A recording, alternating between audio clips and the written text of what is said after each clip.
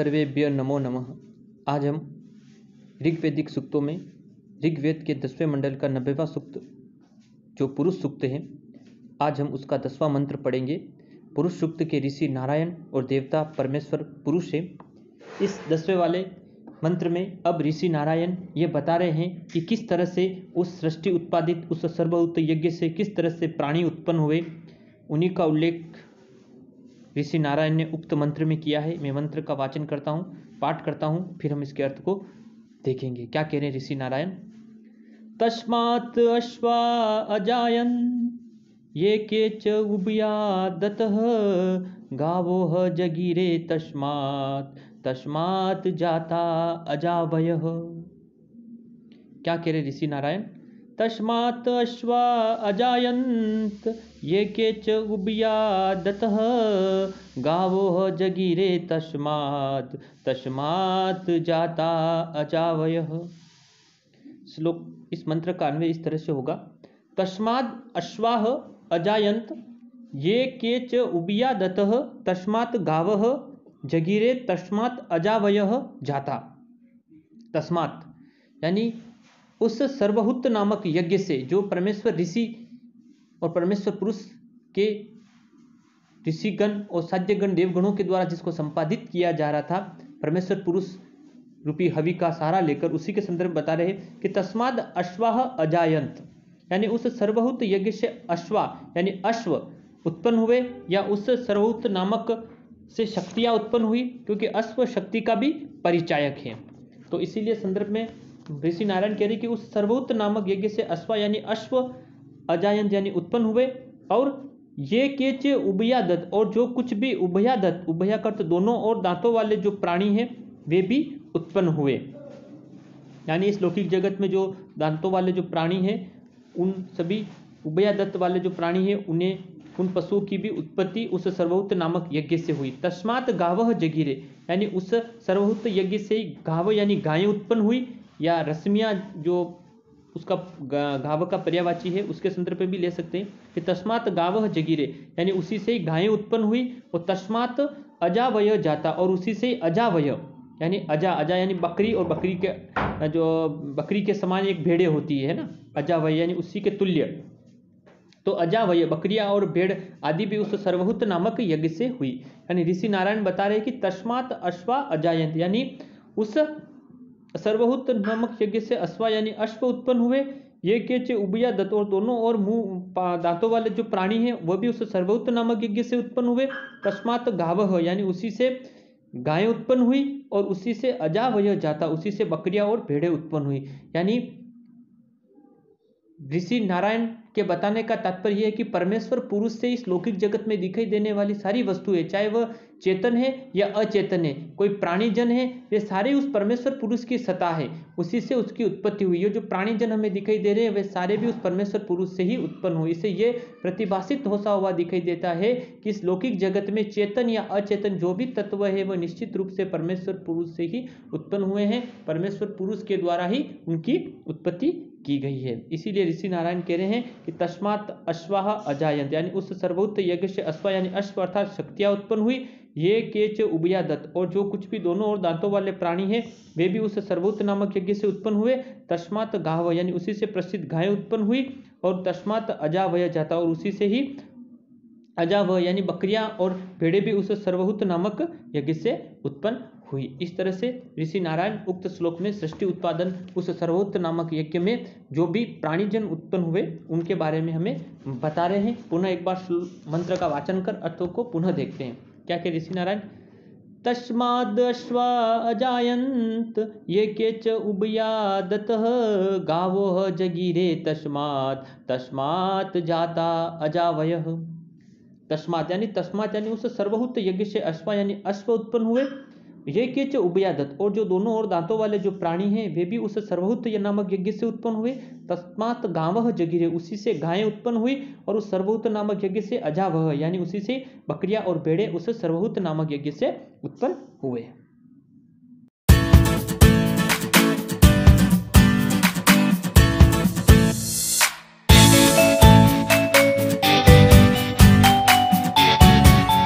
सर्वेभ्य नमो नमः। आज हम पुरुष सुक्त का ग्यारहवा मंत्र पढ़ेंगे।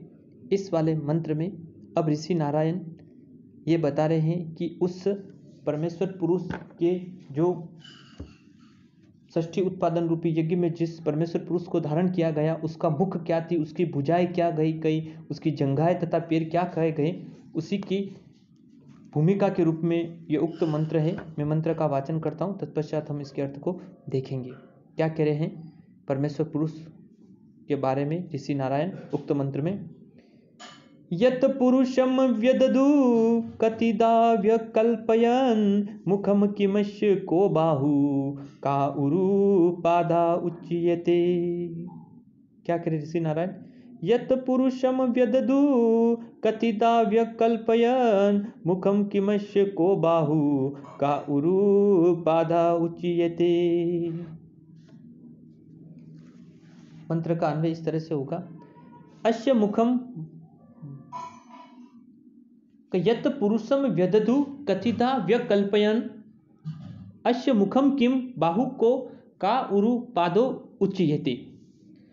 यत पुरुषम यानी जब पुरुषम यानी जब विराट पुरुष को व्यधतु यानी सृष्टि उत्पादन रूपी यज्ञ में धारण किया गया तो कथिता व्यकल्पयन, यानी कितने प्रकार से उसकी कल्पना की गई कश्य मुख अश्य मुखम किम? यानी उसका पुरुष का मुख क्या था? बाहु को उसकी दोनों भुजाएँ क्या कही गई? का उरु पादो उचित। और उसकी दोनों जंघाएँ तथा पैर क्या कहे गए?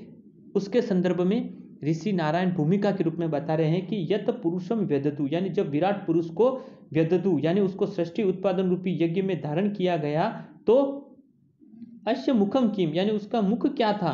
बाहु को उसकी दोनों भुजाएँ क्या कही गई? का उरु पादो उचित तथा उसके दोनों जंघाएँ तथा पैर क्या कहे गए थे?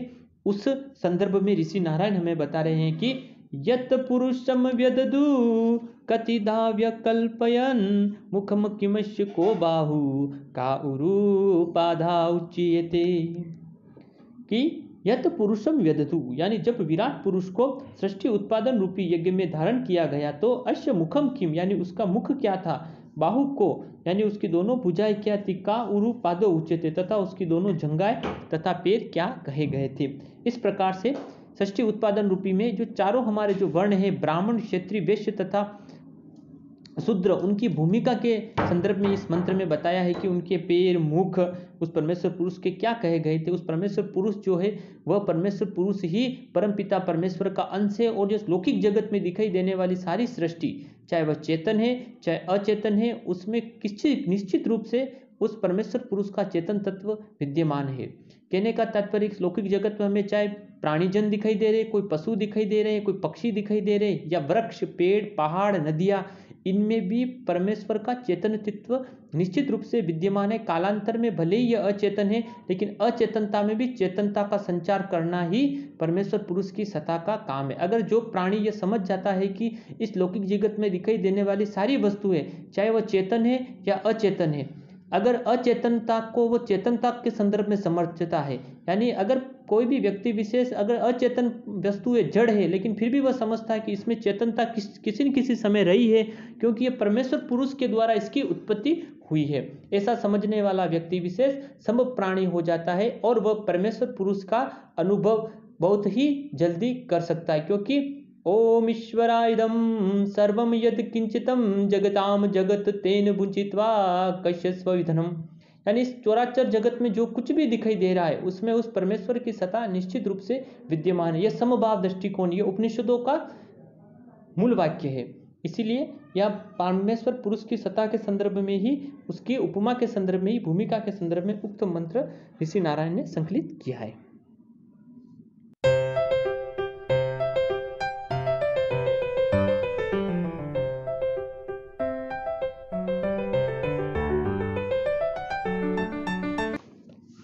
नमो नमः। आज हम ऋषि नारायण के द्वारा विरचित पुरुष सूक्त का बारवा मंत्र पढ़ेंगे। इस वाले मंत्र में अब ऋषि नारायण ये बता रहे हैं कि उस परमेश्वर पुरुष के मुख, भुजाएँ, जंगा तथा पैर से किस किस वर्ण की उत्पत्ति हुई है। उसका उल्लेख उक्त मंत्र में किया गया है। मैं मंत्र का वाचन करता हूँ। तत्पश्चात हम इसके अर्थ को देखेंगे। ये मंत्र परीक्षा उपयोगी है। परीक्षा में पूछा भी जाता है तो इसीलिए ध्यान से आप इसका पाठ सुनिए और तत्पश्चात हम इसके अर्थ को देखेंगे। क्या कह रहे ऋषि नारायण? परमेश्वर पुरुष की सत्ता से चारों वर्णों की उत्पत्ति को उल्लेखित कर। ब्राह्मणो अश्य मुखम आसीद बाहुराजन्य कृत, उरु तदस्य यद वैश्य पदव्याम शूद्रो अजायत। क्या कह ऋषि नारायण? ब्राह्मणो अश्य मुखम आसीद बाहुराजन कृत, उरु तदस यद वैश्य पदव्याम शूद्रो अजायत। मंत्र का अन्वय इस तरह से होगा। अश्य मुखम ब्राह्मण आशित बाहुराजन कृत उरु तद अश्य यद वेश्य पदभ्याम शूद्र अजायत। अश्य मुखम ब्राह्मण आसित। यानी उस परमेश्वर पुरुष के मुख से ब्राह्मण की उत्पत्ति हुई, बाहु राजन कृत। और उस परमेश्वर पर की भुजाओं से क्षेत्रीय वंश उत्पन्न हुआ, यानी क्षेत्रीय राजन वर्ग की जो उत्पत्ति है, राजन वर्ण की जो उत्पत्ति है, वह उस परमेश्वर पुरुष की दोनों भुजाओं से हुई। उरु तद अश्य यद वैश्य और उरु उरु काटते हैं यहाँ पर जंगाए यानी उसके जंगाओं से वैश्य की उत्पत्ति हुई पदव्याम शूद्रो अजायत, और उसके पैरों से शुद्र वर्ण की उत्पत्ति हुई। यानी परमेश्वर पुरुष से चारों वर्ण उत्पत्ति को बताते हुए ऋषि नारायण कह रहे हैं कि अश्य मुखम ब्राह्मण आशी यानी उस विराट पुरुष के मुख से ब्राह्मण वर्ण उत्पन्न हुआ। बाहु राजन कृत और बाहु यानी भुजाओं से क्षेत्रीय वर्ण। उरु तद अश्य यद वैश्य, और उरु यानी जंघाओं से वैश्य तथा पदव्याम शूद्र अजायत और पैरों से शूद्र वर्ण उत्पन्न हुआ। यानी परमेश्वर पुरुष की सत्ता के बाद हमारे इस लौकिक सृष्टि को चलायमान करने के लिए जो चार वर्ण हैं, ब्राह्मण, क्षत्रिय, वैश्य और शूद्र, यह चारों वर्ण एक दूसरे के पूरक हैं। कहने का तात्पर्य कि चारों वर्ण ही इस सृष्टि को चलायमान करने में सहायक है तो परमेश्वर पुरुष की सत्ता, उनके जो अंश है, उन्हीं से इनकी उत्पत्ति हुई। इसीलिए ऋषि नारायण बता रहे कि अश्य मुखम ब्राह्मण आसित, यानी इस परमेश्वर पुरुष का जो मुख था वह ब्राह्मण था।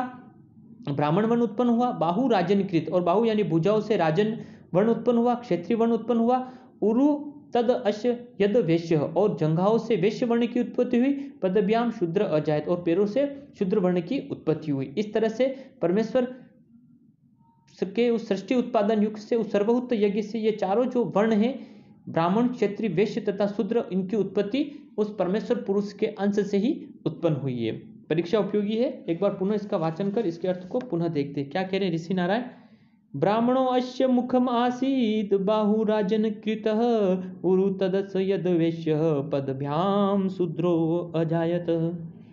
अश्य मुखम ब्राह्मण आसीत, यानी इस परमेश्वर पुरुष से के मुख से ब्राह्मण की उत्पत्ति हुई, ब्राह्मण वर्ण उत्पन्न हुआ, बाहु राजन कृत, यानी उसकी भुजाओं से राजन वर्ण, उरु तद अश्य यद वैश्य और इसकी जंगाओं से वैश्य वर्ण तथा पदव्याम शूद्र, अजात और पैरों से शूद्र वर्ण की उत्पत्ति हुई। इस तरह से चारों वर्ण षष्टि को चलायमान करने में सहायक है, इन चारों वर्ण की उत्पत्ति ब्राह्मण, क्षेत्रीय, वैश्य तथा शूद्र की उस परमेश्वर पुरुष के अंश से ही हुई है।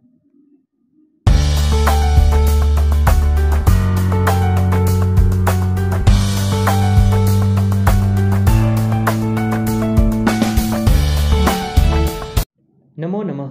आज हम ऋग्वेदिक सूक्तों में पुरुष सूक्त, जो ऋग्वेद के दसवें मंडल का नब्बेवा सूक्त है, जिसके ऋषि नारायण और देवता परमेश्वर पुरुष हैं, आज हम उस सूक्त का तेरवा मंत्र पढ़ेंगे। इस वाले मंत्र में अब ऋषि नारायण इस सृष्टि के चक्र को चलायमान करने में जो चंद्रमा, जो सूर्य, जो वायु, जो अग्नि, इनकी जो महत्वती भूमिका रहती, वो उस परमेश्वर पुरुष के अंश से कहाँ कहाँ से उत्पन्न हुए, उसका उल्लेख परमेश्वर पुरुष का उल्लेख उन अंश तत्वों का उल्लेख ऋषि नारायण ने उक्त मंत्र में किया है। ये परीक्षा उपयोगी मंत्र है। परीक्षा में पूछा भी जाता है। इसलिए आप ध्यान से इसके पाठ को सुनिए, फिर हम इसके अर्थ को देखेंगे।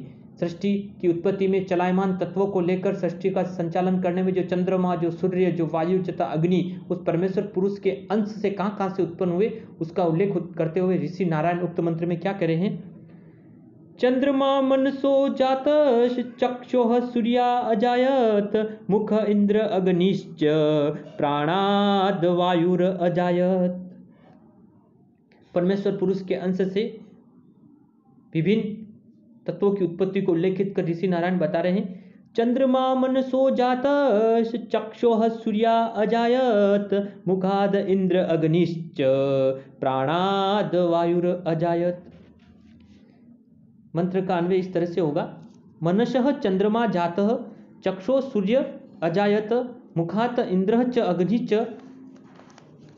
वायु अजायत।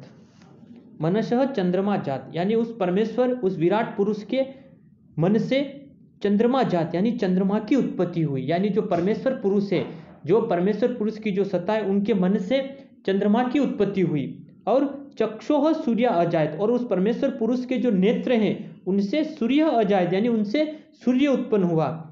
मुखात इंद्र च अग्नि च, और परमेश्वर पुरुष के मुख से इंद्र और अग्नि की उत्पत्ति हुई, और प्राणात वायु अजायत, और उनके प्राण से वायु उत्पन्न हुई। आप देखिए, सृष्टि उत्पादन को बताते हुए ऋषि नारायण ने जो लौकिक जो कल्पना की है, उस कल्पना को देखते हुए ऐसा लगता है कि जो कल्पना आज हम जिसको कल्पना समझ रहे हैं, उस समय यह सृष्टि उत्पादन यज्ञ जो उत्पन्न हुआ, वो सृष्टि को चलायमान करने से किस किस प्रकार से किन किन तत्वों की उस परमेश्वर पुरुष से उत्पत्ति हुई, उसका ऋषि नारायण ने बड़ा ही सार गर्भित रूप में उसका उल्लेख कर बता रहे हैं कि मनस चंद्रमा जात, यानी उस विराट पुरुष के, उस परमेश्वर पुरुष के मन से चंद्रमा उत्पन्न हुआ चक्षुह सूर्य अजायत, और उस परमेश्वर पुरुष के चक्ष, यानी आँखों से सूर्य की उत्पत्ति हुई।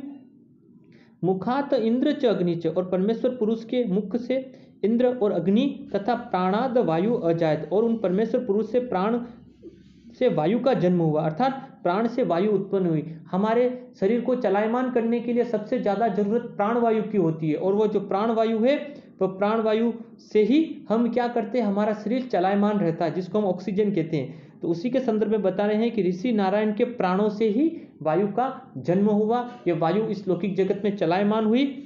इसीलिए परमेश्वर पुरुष के विभिन्न अंशों से उस के अंश तत्व को उल्लेखित कर ऋषि नारायण बता रहे कि मनुष्य चंद्रमा जात, यानी परमेश्वर पुरुष, यानी उस विराट पुरुष के मन से चंद्रमा उत्पन्न हुआ, चक्षु सूर्य अजात उनके चक्ष, यानी नेत्रों से सूर्य की उत्पत्ति हुई, मुखात इंद्र, चग्नि च मुख से इंद्र और अग्नि, और प्राणात वायु अजायत, और प्राण से वायु उत्पन्न हुई। मैं एक बार पुनः मंत्र का वाचन करता हूँ, तत्पश्चात हम इसके अर्थ को देखेंगे। क्या करें हैं? ऋषि नारायण चंद्रमा मनसो जात, चक्षुः सूर्या अजायत, मुखाद इंद्र अग्निश्च, प्राणाद वायुर अजायत। यानी मनुष्य चंद्रमा जात, यानी परमेश्वर, यानी उस विराट पुरुष के मन से चंद्रमा उत्पन्न हुआ, चक्षुः सूर्य अजायत। उसके चक्ष, यानी नेत्रों से सूर्य से, आँखों से सूर्य की उत्पत्ति हुई, मुखात इंद्र च अग्नि च। परमेश्वर पुरुष के मुख से इंद्र अग्नि उत्पन्न हुए, तथा प्राणात वायु अजायत, तथा उनके प्राण से वायु का जन्म हुआ। इस प्रकार से सृष्टि के उत्पादित में ये विभिन्न तत्व उस परमेश्वर के विभिन्न अंशों से उत्पन्न हुए।